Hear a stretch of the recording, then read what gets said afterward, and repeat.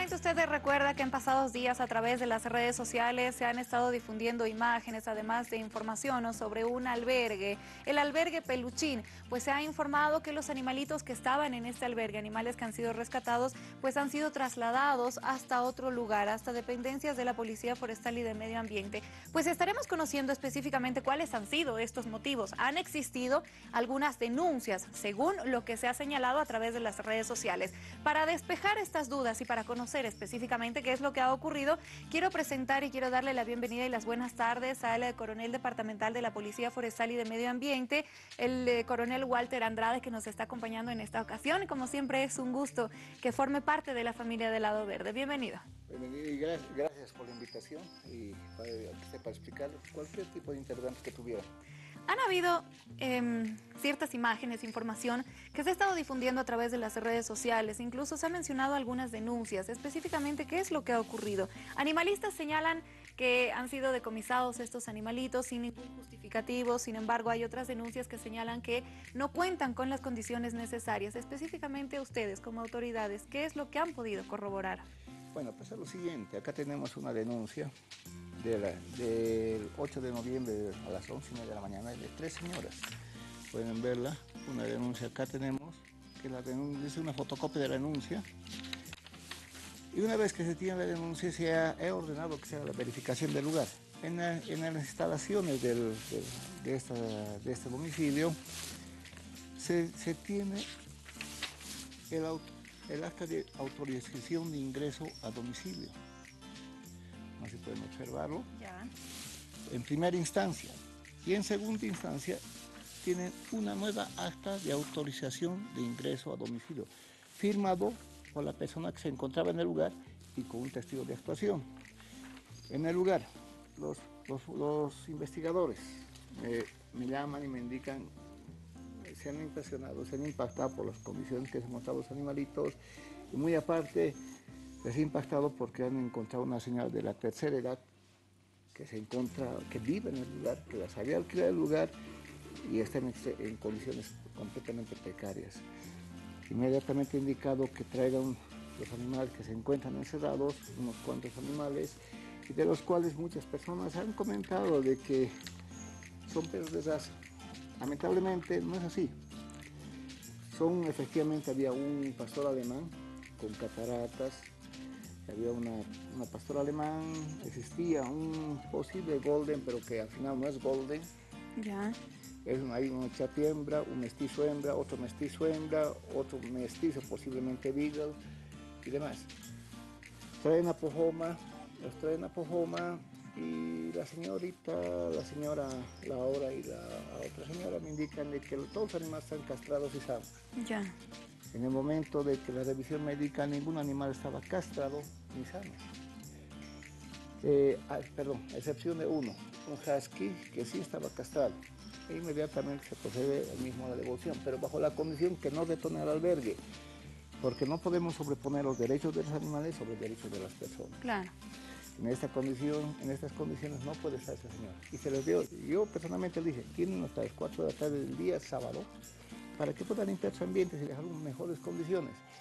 Muy aparte, la señora Ana Serrano, que es de APLAP, la señora Silvia Paco, la señora María Luisa de Génesis e incluso la señora Ana Morales. Estaban presentes, eh, hablaron conmigo y se, se indicó. Y la señora Silvia Paco me dijo, la señora vive feliz con los animales. Está bien, puede vivir feliz con 5, 6, 7 animales pero no son las condiciones. No puede vivir una señora de la tercera edad en esas condiciones. ¿Y ahora dónde están los animalitos? ¿Qué va a pasar con ellos? ¿Cuál es la situación? Pasa lo siguiente. Posteriormente, la señora Serrano me indica de que la alcaldía se va a dar 40 días más de, para de autorización de ese, de ese albergue. Bueno, no creo que deba dar 40 días en esas condiciones. Yo, yo me comprometía con las con los del albergue, con los de, las instalaciones, hacerlos castrar, hacerlos castrar, hacerlos curar y posteriormente que ellos escojan a diferentes personas para que se vayan con, con los animalitos, con las personas. De esa manera vamos a bajar, vamos a, vamos a reducir ese hacinamiento. Porque en sí ya no, es un albergue, es un depósito de animales. lo bueno es que hemos cumplido con nuestro objetivo. Han limpiado el lugar, se encuentra un poco mejor. Creo que se encuentra mejor, pero hemos visto que han sacado cantidades y cantidades de basura. Lamentablemente se ha podido observar que habían ratones muertos, que habían, o sea, el odor es penetrante. No solamente ya es un, ya no solamente maltrato animal. En este caso ya están, están atentando contra la salud pública de, las personas, de la población. Ahora, se ha pedido la certificación a la alcaldía como también a la a SENASAC. Si le hubieran autorizado unos 40 días más las instalaciones o las condiciones que se encontraran. Si lo hubieran hecho, la alcaldía estuviera atentando directamente contra la salud de la población. Es un delito de salud pública. Bueno, en ese interín hemos logrado que limpien y demás. Y al final se les ha entregado los animales a terceras Muy aparte, que esos animales han llegado a Pofoma. Han llegado a Pofoma completamente como, bueno, eh, como sucios.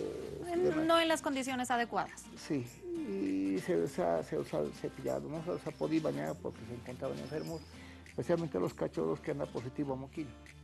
O sea, mm. hay moquillo, existe enfermedad zoonótica. Claro, y, es grave. Se puede propagar. Estamos a, un, a una cuadra del mercado, se encuentra una cuadra del mercado Yungas. Ahora se les ha, se les ha indicado al señor Anacelano Silvia Paco y a todas las personas que si es un albergue y tienen capacidad para 10 animales, no puede aumentar la, mayor cantidad de animales.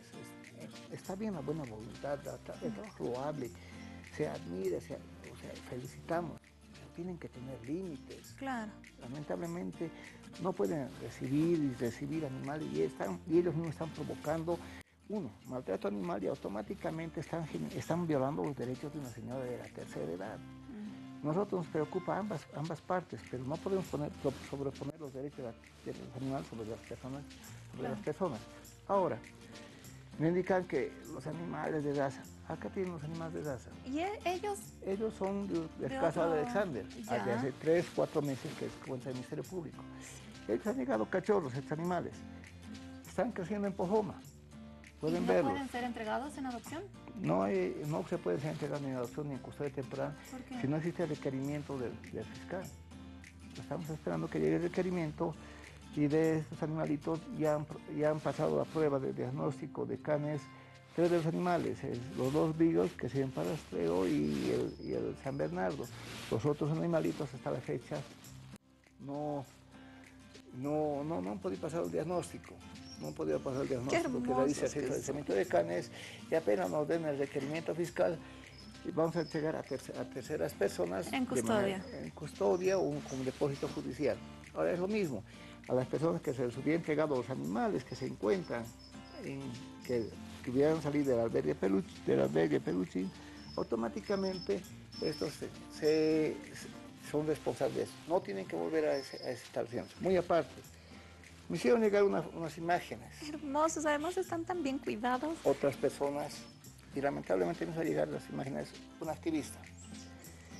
El señor Joel Emilcar Heredia Pabellón, que es el joven, el joven que cuida las instalaciones, el señor. Las instalaciones de albergue ah, ya. tiene. Lamentablemente, tiene que explicar las, estas imágenes. Es una boa que tiene en un domicilio, pueden verlo, mm. y me indican que él lo había subido a las redes. Ya, eh, bueno, esto también está prohibido. Este es otro delito. Claro. Es un yacaré, puede ser que sea un centro de custodia, no sé, pero la boa está en un domicilio. Claro, y eso también está completamente prohibido y es donde también hacen operativos para poder rescatar este tipo de animalitos. No pueden estar en un domicilio. Lo lamentable es que eh, esta es la señora. Pueden verla. Estas son las condiciones en que se encontraba la señora. Mm. Vive ahí, la señora vive en el lugar, en, esas instalaciones. No puede estar viviendo esta persona en esas condiciones, no pueden abusar, no pueden violentar derechos. Está bien, volvemos a repetir. El trabajo es loable, es admirable, pero no podemos, por ser muy amigos, por ser muy acariñosos de los animales, no podemos violentar los derechos de otras personas. Ah. Claro, el caso. Eh, es lo que me decían algunos animalistas. Y no estoy, no puedo asegurar, no puedo asegurar, indican que las personas, los animalistas en sus casas viven bien, con 5 o 6 camas. Pero esta señora está viviendo con 40 animales. Ha reducido, efectivamente, ha reducido con los animales que se han trasladado, se los ha entregado castrados. Y de los cachorros, ellos se han comprometido, se comprometen a la curación de los animales. Ahora, hay otro punto. Las personas que han sacado en custodia estos animales castrados, solo una persona ha sido responsable y lo trajo para su televisión. En cambio, dos animales que han sido castrados no lo traen hasta ahora. Estamos hablando del pastor alemán que tiene cataratas y del otro que es un animalito largo, muy parecido al Beagle, pero no es Beagle, es de varios cruces y no lo trajeron, no a la revisión. Bueno, es lo mismo, o sea, existe responsabilidad por parte de las personas que hubieran tenido bajo custodia y automáticamente se van a se les puede ampliar incluso a ellos casos. Exacto, quienes están rescatando. Coronel, quiero agradecerle mucho el tiempo por habernos acompañado en Lado Verde, por informar también a la población, por despejar ciertas dudas, ¿no? Eh, nosotros tenemos ambas versiones. Es importante que también se conozca el trabajo que vienen realizando, no es de un día ni de dos, es los 365 días del año. Estos animalitos que lastimosamente aún están en Pofoma, están en muy buenas condiciones, están muy bien cuidados, son felices, pero si necesitan una familia, esperemos que los papeles ya puedan estar en orden y de esta manera que puedan contar con un hogar. Muchas gracias, coronel, agradecerle también el labor y felicitar una vez más. Gracias. A usted, por la invitación. Gracias. Permítanos hacer una breve pausa, ya volvemos.